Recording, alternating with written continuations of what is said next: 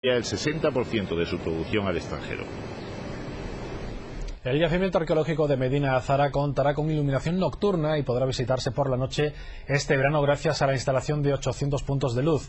Hoy han visitado las obras el presidente de Endesa, Borja Prado, y también la consejera de Cultura, Rosa Aguilar, que ha considerado que la iluminación será un atractivo más para que el yacimiento sea reconocido como patrimonio de la humanidad. El proyecto lumínico de Medina Sahara prevé la instalación de 814 puntos de luz distribuidos por sus 14 zonas que se irán iluminando al paso de los visitantes.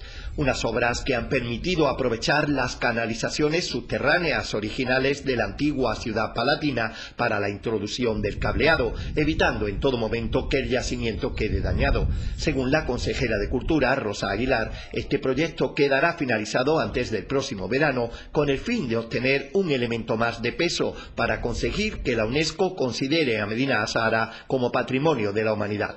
Ahora tenemos aquí un lugar especial y singular como Medina Zara que, que, quiere ser patrimonio mundial y que pisa el acelerador para ello. Sin lugar a duda, esto es un valor añadido que pone aún más a Medina Zara en esas puertas de ser patrimonio mundial porque estamos dispuestos a trabajar hasta el final para conseguirlo.